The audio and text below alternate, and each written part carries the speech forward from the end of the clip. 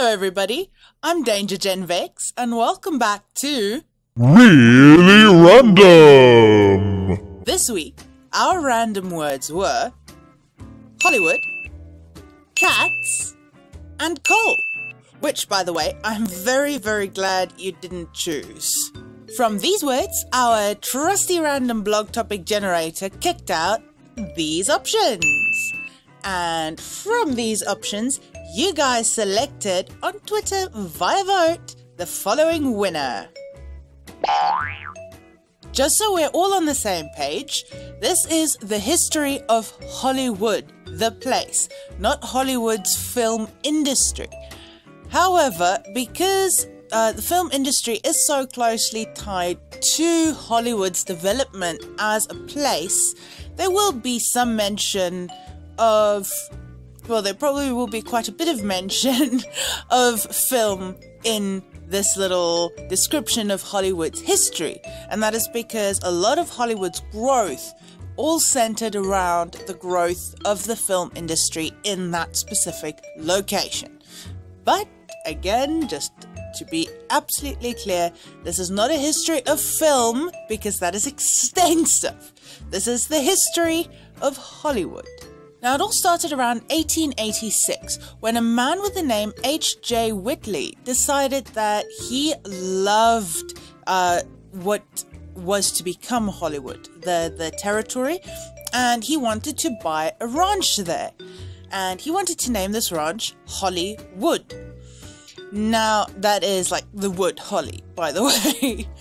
Um, and when he bought his ranch, he told the original owner of the ranch that he'd intended to develop a community there. Now, the original owner, being a bit of a gossip, told his wife, who told just about everybody else, and the news spread across the different ranch owners, including to one fellow named Harvey Wilcox, via his wife, who was also a bit of a gos- gossip, Deirdre. Uh, no, sorry, Daeida. Daeida. It's a very tricky name, though. Daeida. So, or Daeida? I don't know.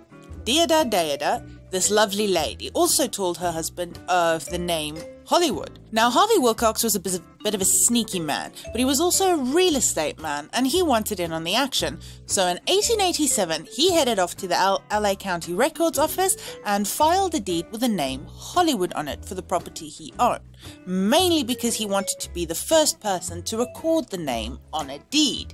He probably also did it because he wanted his name forever linked to Hollywood, which it often is, uh, but mistakenly so. The property now owned, a small community started to, ve- to develop in this newly crowned or christened Hollywood.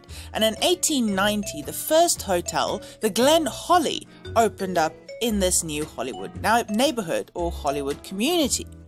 By the 1900s, this small Hollywood community had grown that it had its own post office, hotel, newspaper, two markets, and a population of over 100,000 people. It was uh, 102,479 exactly, I believe. But it was still mostly ranches and vineyards and orchards and groves and that sort of thing. It was farmland and nowhere near the kind of Hollywood that we're familiar with today. In 1902, the Hollywood Hotel opened, and it's this hotel that would, in the future, become something of a hotspot for the stars. In 1903, Hollywood was officially incorporated as Hollywood, but most of the people who lived there were conservatives. And for one, the community was prohibitionist. So the only place that alcohol could be bought was in a pharmacy and only for medicinal purposes. Not even hotels and restaurants were allowed to serve wine, which was pretty common back then, with their meals. For another thing, it would be almost, well, it would be over 10 years, I believe, before they would see their first feature length film. Now, in 1910, to benefit from Los Angeles's water and sewage, Hollywood became an official part of LA. This was a very good thing because the people of Hollywood, being conservative, had banned movie theaters and film theaters. But Los Angeles didn't have any such rules. And now that Hollywood was part of it, things were going to get really, really interesting. This is where we get to the point where we realize who we actually have to thank for the boom of film industry in Hollywood. None other than Tom Edison, the biggest arsehole in the world himself.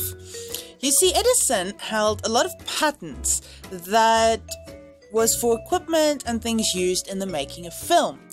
And if he hadn't been such an ass back on the East Coast, filmmakers would have remained there in Hollywood and you know, in, in New York and made their films there. But him having a stick up his ass, they often, or the, the filmmakers were often given problems and trouble for making films on that side. However, the influence didn't reach all the way to the West Coast. So, a lot of filmmakers packed their bags and headed out west. And where did they end up? Well, LA and Hollywood. Now it's 1911, and one of these filmmakers who decided to toddle off to the west coast is a man named David Horsley. He bought the Blondeau Tavern eh, on Sunset Boulevard in Hollywood and turned it into the Nestor Film Company. Um, its original name was the Nestor Motion Picture Motion Picture Company, the Nestor Motion Picture Company. And it was there that some of the first Hollywood films were produced.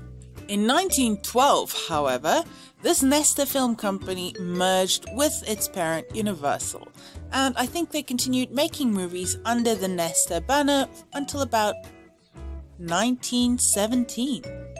In 1914, the first feature length film was released, named Squaw Man, and this film was made by Cecil B. DeMille, um, Samuel Goldwyn, and Jesse, Jesse, Jesse Lasky.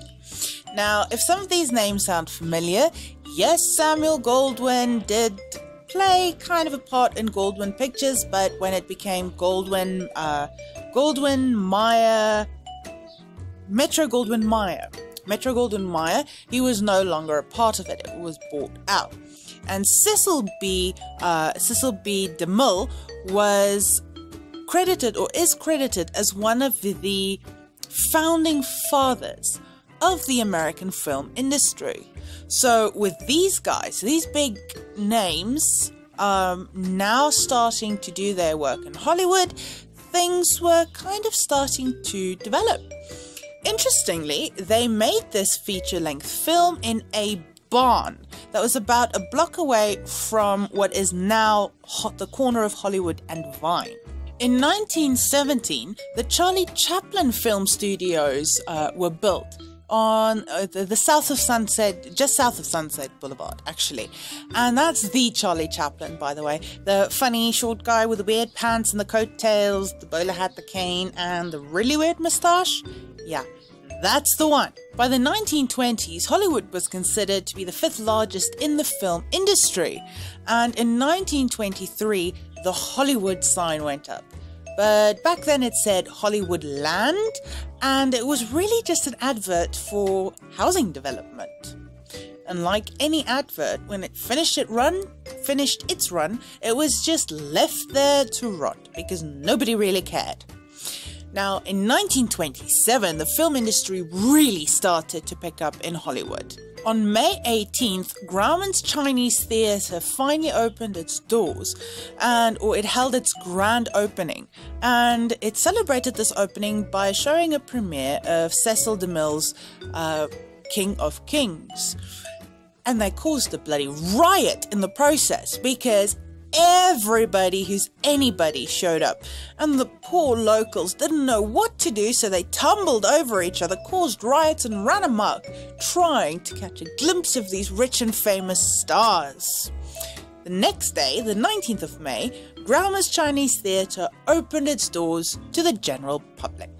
It's 1929 now, and things are really picking up speed. So much so that the first ever Academy Award is held in the Blossom Room of the Hollywood Hotel.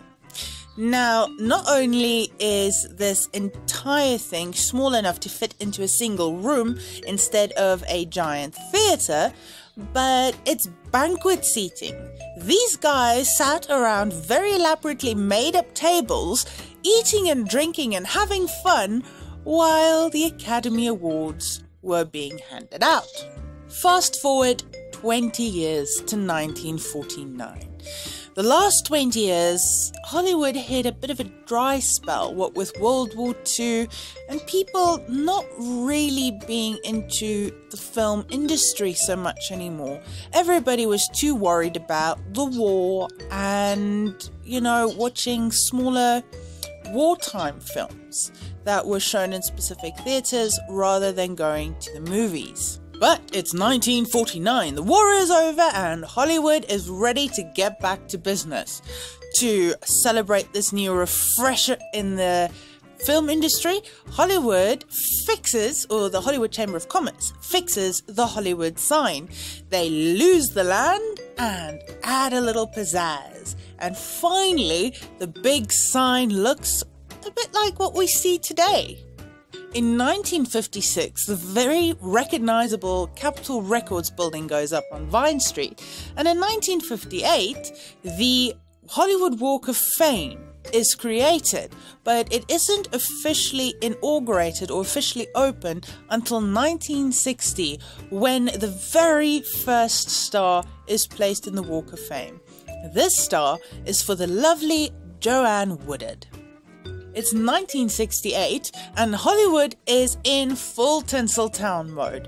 The original founders and community residents are no doubt turning in their graves as Grauman's Chinese Theatre is made an historical and cultural landmark. Now, in the 1980s, Hollywood started to suffer a bit of a decline, and a lot of the older culturally historic buildings or culturally significant buildings were at risk of being demolished. But never fear, the people to the rescue.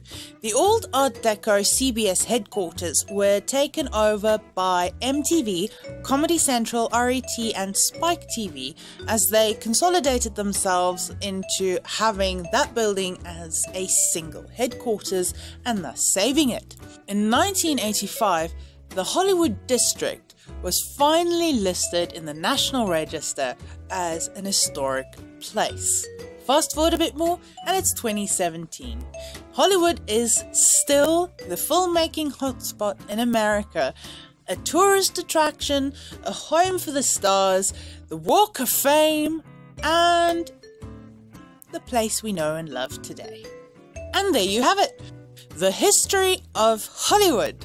I hope you enjoyed this episode. I found it pretty entertaining. Um, I also found that there were a lot of misconceptions about how Hollywood got its start. I had to look into several different um, resources to find out who actually had the or wanted to start Hollywood. But it, it was interesting research, and I hope that you guys actually enjoyed hearing a little bit about Hollywood and Hollywood's history and how it's grown from humble beginnings as a conservative ranch community to today. But thank you guys so much for watching.